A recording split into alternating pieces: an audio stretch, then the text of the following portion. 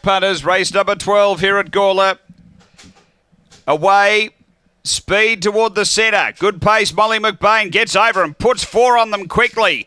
Uh, as a baby through to second, then Crazy Nitro, son of Helga Liquid Club. Next, as a deluxe, and back at the tail end is uh, Dolce Mavro, front runner Molly McBain, out by three on as a baby. A couple away, Crazy Nitro. Molly McBain clear though, won it at the start. Molly McBain first, seconds close. Crazy Nitro and as a baby in a photo behind those son of Helga. Then as a deluxe Eddie, who uh, next in is Liquid Club and Dolce Mavro back at the tail end. The time here is 23 and 20.